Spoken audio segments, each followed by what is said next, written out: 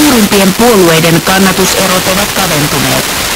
Vastauksessa keskusta on palannut niukasti. SDPn kannatus pudonnut 20 prosentin.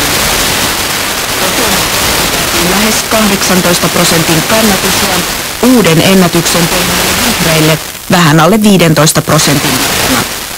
Taloustutkimus haastatteli kannatusmittausta varten touko-kesäkuussa 3900 henkilöä.